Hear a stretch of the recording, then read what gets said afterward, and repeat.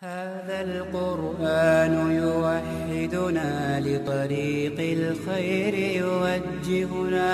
الله تعالى أنزله ورسول الله معلمنا.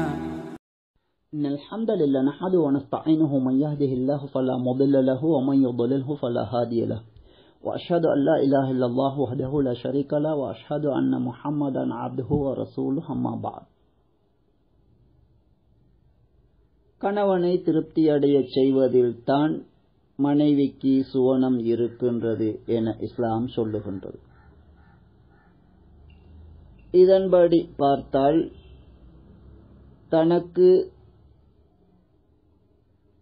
விருப்பமில்லாத கணவனை திருப்திப்படுத்துவதுதான் இஸ்லாமா? தனக்கு விருப்பமில்லை என்பதால் கணவனை திருப்திப்படுத்தாத காரணத்தினால் நரகம் செல்ல வேண்டி ஏற்படுமா என்று அடுத்ததாக கேட்கப்பட்டிருக்கின்றது. இஸ்லாத்தை நீங்கள் சரியாக புரிந்து கொள்ளவில்லை. இஸ்லாம் இயற்கை மார்க்கம் பொருத்தமான மனிதனுக்கு சிறந்த விடயங்களையே இஸ்லாம் சொல்லுகின்றது. இஸ்லாம் கற்றுத்தருகின்ற விடயங்களில் ஒன்று வாக்குறுதி அளித்தால் அதனை முறையாக நீங்கள் நிறைவேற்ற வேண்டும் என்று இஸ்லாம் சொல்லுகின்றது. திருமணம் என்பது ஒரு ஆணும் பெண்ணும் செய்து கொள்ளுகின்ற உடன்படிக்கையாகும். அதிலும் பெண் என்பவள் குறிப்பிட்ட ஒரு ஆணை திருமணம் செய்கின்றாள் என்றால் அந்த ஆணுடைய தேவையை நான் நிறைவேற்றுவேன் என்பது அதிலுள்ள முக்கியமான விடயமாகும். திருமணம் பேசப்படுகின்ற போது ஒரு கன்னி பெண்ணாக இருந்தால் அதாவது இதற்கு முன்னர் திருமணத்திலே அனுபவம் இல்லாத பெண்ணாக இருந்தால் அவளுடைய பொறுப்புதாரர்கள் திருமணம் பேசுகின்ற போது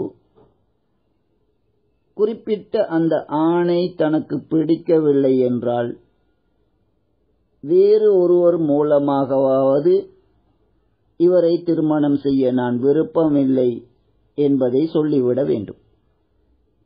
எனவே முதலாவது விடயம் ஒரு பெண் திருமணம் செய்கின்ற போது திருமணம் என்ற அந்த ஒப்பந்தத்திலே ஈடுபடுகின்ற போது அந்த ஆணை தனக்கு பிடிக்கவில்லை என்றால் அந்த கருத்தை சொல்லுகின்ற உரிமையை இஸ்லாம் தாராளமாக தந்திருக்கின்றது. இரண்டாவது கட்டம் திருமணம் முடித்ததன் பிறகு தனது கணவனை தனக்கு பிடிக்கவில்லை என்றால் நன்றாக சிந்தித்து ஒட்டுமொத்தத்திலே அந்த கணவன் தனக்கு தேவையில்லை என்று ஒரு மனைவி நினைத்தால் கொல எனப்படக்கூடிய அந்த திருமண ஒப்பந்தத்திலிருந்து ஒதுங்கிக் கொள்ளுகின்ற உரிமை மனைவி என்ற அந்தஸ்திலிருந்து நீங்கிக் கொள்ளுகின்ற உரிமையும் அந்த பெண்ணுக்கு இருக்கின்றது. எனவே நன்றாக நாம் விளங்கிக் கொள்ள வேண்டும். திருமணம் என்பது ஒரு ஒப்பந்தம். மனைவி என்பவள் கணவனை திருப்திப்படுத்துவதற்கு தயார். அந்த கணவனுக்கு உரிய ஒரு பெண்ணாக வாழ்வதற்கு தயார் என்று அவள் ஒப்பந்தம் செய்கின்றாள். எனவே கணவனுடன் அந்த திருமண ஒப்பந்தம் இருக்கும் வரைக்கும் நீங்கள் அளித்த வாக்குறுதியை நிறைவேற்ற வேண்டும் என்றுதான் இஸ்லாம் சொல்லுகின்றது. குறிப்பிட்ட அந்த ஆணுக்கு மனைவியாக இருக்கும் வரைக்கும் அந்த ஆண் தன்னுடைய முழு வாழ்வையும் குறிப்பாக தன்னுடைய உழைப்பை தன்னுடைய மனைவிக்காக பிள்ளைகளுக்காக அவர் செலவு செய்கின்றார். மனைவியாக இருக்கின்ற ஒரே காரணத்தினால் தான் அதனை செய்கின்றார். எனவே மனைவி என்பவள் திருமணம் மூலம் கொடுத்த வாக்குறுதியை நிறைவேற்ற வேண்டும். படைத்தவனுக்கு முரணில்லாத வரையிலே தனது கணவனுக்கு அடிபணிந்து அவள் கொடுத்த வாக்குறுதியை நிறைவேற்றி அவள் வாழ வேண்டும் என்றுதான் இஸ்லாம் சொல்லுகின்றது. எனவே ஒரு பெண் தன்னுடைய கணவனை தனக்கு பிடிக்கவில்லை இந்த நிலையிலும் அவரை திருப்திப்படுத்த வேண்டுமா என்று கேட்பது பிழையான விளக்கமாகும். தனது கணவனை விட்டு பிரியாத வரையில் அவள் கணவனோடு செய்து கொண்ட ஒப்பந்தத்தை முறையாக நிறைவேற்ற வேண்டும் என்றுதான் இஸ்லாம் சொல்லுகின்றது. தனது சொந்த தேவைக்காக உலகத்திலே திருமணம் முடித்து வாழுகின்ற ஒரு பெண் அவள் நீதமாக வாக்குறுதியை நிறைவேற்றக்கூடிய ஒரு பெண்ணாக நடக்கும்போது அதற்கு அல்லாஹ் தன்னுடைய புறமிருந்து மேலதிகமாக நன்மைகளை வழங்குகின்றான். இதனைத்தான் இஸ்லாம் சொல்லுகின்றது. எனவே ஒரு பெண் தனது கணவனை தனக்கு உண்மையிலேயே பிடிக்கவில்லை தேவையில்லை என்றால் திருமண பந்தத்திலிருந்து அவள் நீங்கிவிட வேண்டும். தன்னை தலாக் சொல்லுமாறு கணவனிடம் கேட்டு ஏற்கனவே மகராக பெற்றதை அவள் திருப்பிக் கொடுத்து விட வேண்டும்.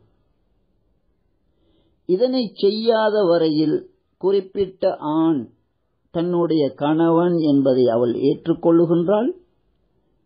கணவன் தனக்காக அனைத்தையும் செய்யுகின்ற நிலையிலே கணவனுடைய தேவையை நிறைவேற்றுவதாக திருமணத்தின் மூலம் ஒப்பந்தம் செய்துவிட்ட நிலையில் கணவனிடம் பிரயோஜனங்களை பெற்றுக்கொண்டு கணவனுக்கு கொடுத்த வாக்குறுதியை நிறைவேற்றாமல் இருப்பது இது மனித தன்மைக்கு முறை முரணானதாகும். கொடுத்த வாக்குறுதிக்கு மாற்றமானதாகும். இதனைத்தான் இஸ்லாம் சொல்லுகின்றது. எனவே இரண்டில் ஒரு முடிவை அந்த பெண் எடுக்க வேண்டும். தனக்கு அந்த ஆண் கணவனாக இருப்பது அவசியம் என்றால் அந்த ஆணுக்கு அடிபணிந்து நடக்க வேண்டும். அந்த ஆணுடைய முக்கிய தேவைகளை அவள் நிறைவேற்ற வேண்டும்.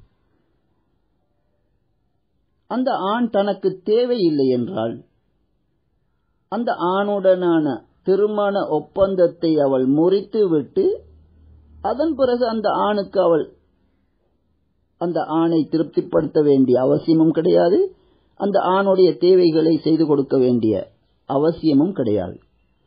ஆகவே இங்கே இஸ்லாம் மிக அழகான போதனையையும் நியாயமான சட்டங்களையும் சொல்லுகின்றது.